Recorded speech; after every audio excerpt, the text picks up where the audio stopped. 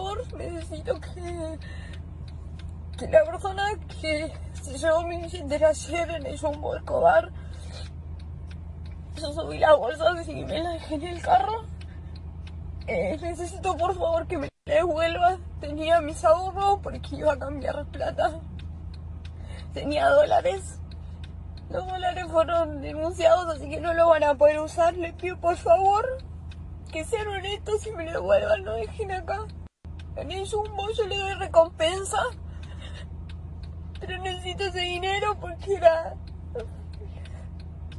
Eran los ahorros que los tenía con mucho esfuerzo. Por favor, ayúdenme.